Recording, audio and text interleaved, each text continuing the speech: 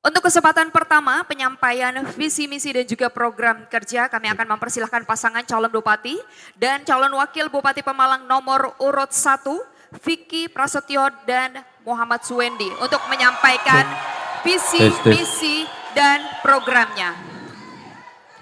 Baik Bapak waktu Anda tiga menit silahkan.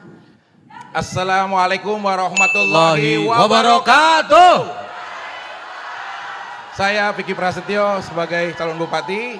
Saya Muhammad Suwendi, calon wakil Bupati Pemalang. Kita memilih tagline kita, yaitu adalah revolusi Pemalang. Sebelum kita merevolusi Pemalang secara utuh, baiknya buat struktural partai, teman-teman tim pemenang relawan, kita merevolusi diri kita sendiri untuk tertib selama acara berlangsung kondusif.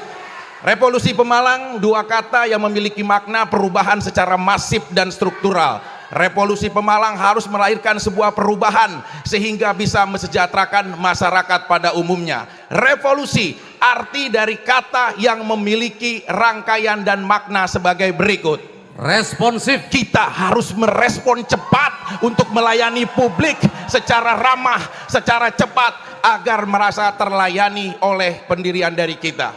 Visioner Visi adalah sebentuk fundamental awal untuk menciptakan pembangunan yang terstruktur, yang terarah untuk kesejahteraan rakyat. Lestari, lestari alamku, lestari desaku, di mana Tuhanku menitipkan aku Tuhan telah menitipkan kekayaan sumber daya alam Pemalang yang begitu luas dan kaya. Lautan, sungai, pegunungan ini sebagai bentuk yang bisa kita eksplorasi untuk masyarakat Pemalang. Unggul. Unggul adalah sebuah rangkaian kata di mana penciptaan generasi serta sumber daya manusia yang harus siap berkompetisi untuk daerah-daerah yang lainnya. Sejahtera. Sejahtera adalah harga mati untuk kita mesejahterakan rakyat Pemalang. Tidak ada lagi tangisan, tidak ada lagi penderitaan, tidak ada lagi kekhawatiran rakyat membicarakan tentang kehidupan Pemalang.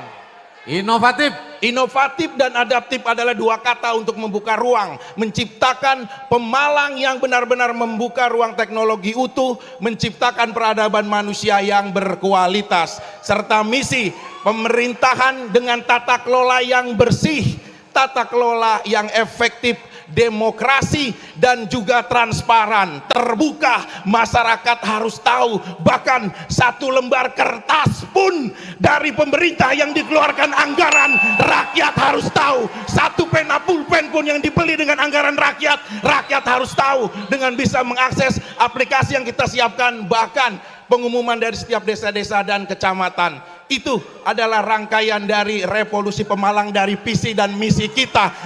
Harga mati untuk kita bisa mensukseskan semuanya. Revolusi Pemalang. Harga mati. Revolusi Pemalang. Harga mati. Revolusi Pemalang. Pak Wakil.